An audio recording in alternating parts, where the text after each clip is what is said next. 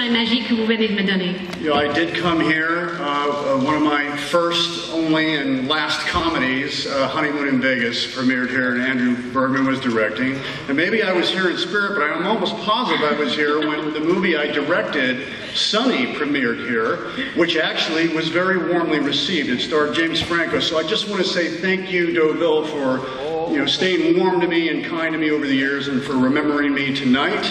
But I'm, I'm most, most thrilled to share a movie uh, directed by David Gordon Green, who you're going to meet in a minute, and, and starring with Tye Sheridan. I, I, this movie I'm so happy with, and I, I just can't wait for you to see it. It was a marvelous experience for me to work with David. This is a true artist, a true voice in American cinema. And uh, I just hope that any actors out there, if you want to make a movie with a director that really cares about performance and character analysis, go with David. And then with Tye, he is so honest. You don't see the acting. This is a voice, a, young, a, youthful voice in America, and I have to say it. Uh, he reminds me of my own personal hero, uh, Mr. James Dean. So thank you very much.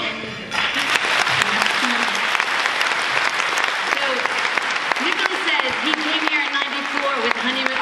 Je en français. Nicolas nous dit qu'il est venu en 94 avec Honeymoon in Vegas et qui était très très très bien reçu. Une de ses seules comédies, il nous a dit. Aussi, lui a le souvenir d'être venu ici avec Sunny, le film qu'il a réalisé, mais peut-être était là que en esprit.